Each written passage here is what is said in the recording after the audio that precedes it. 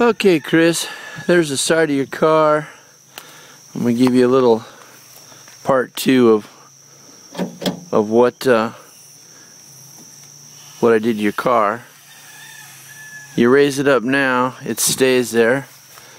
It has these, I don't know, spring-loaded hydraulic kind of lifter things. They're they're they work now. Your glass hinge, I replaced that. And on the inside, I picked up one of these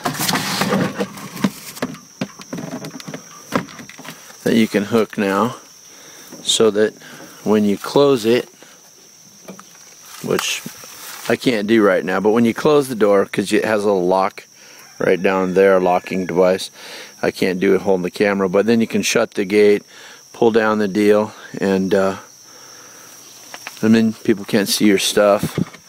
It is removable if you didn't want it, but uh, that was 20 bucks, which is a score.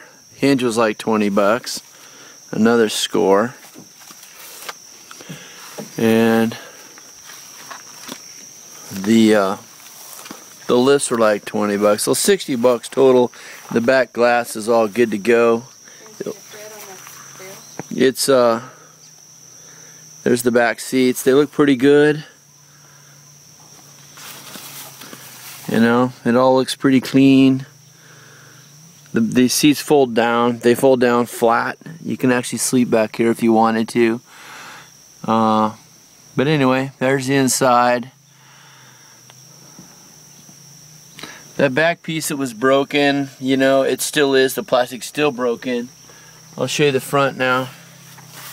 Doors look okay. Uh, this piece here was missing. Put that in.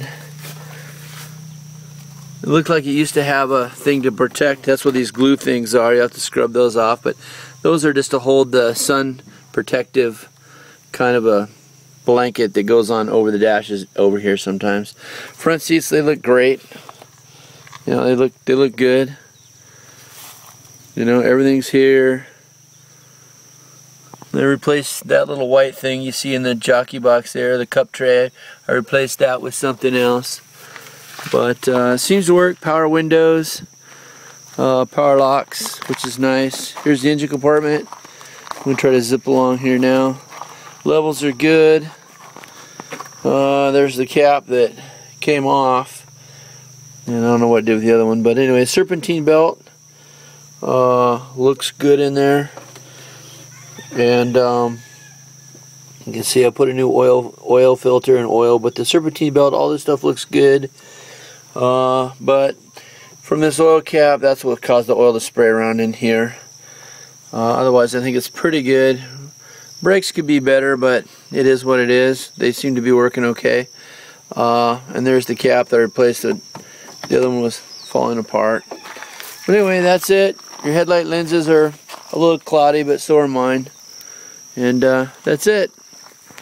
Otherwise, a little mud from four-wheeling probably splashing up on the hood. But all in all, I think the engine looks pretty good. I think it'll be a good deal, providing the title comes through as it should. Oh, and the tires. I'll show you the tires. Tires are bad. Um, they're pretty bald. I don't know if you can see, but they're they're actually there's not much there. Uh, you know, there just really isn't very much tread. You probably can't tell, but they're they're they're pretty worn. So we'll see what we can do about that.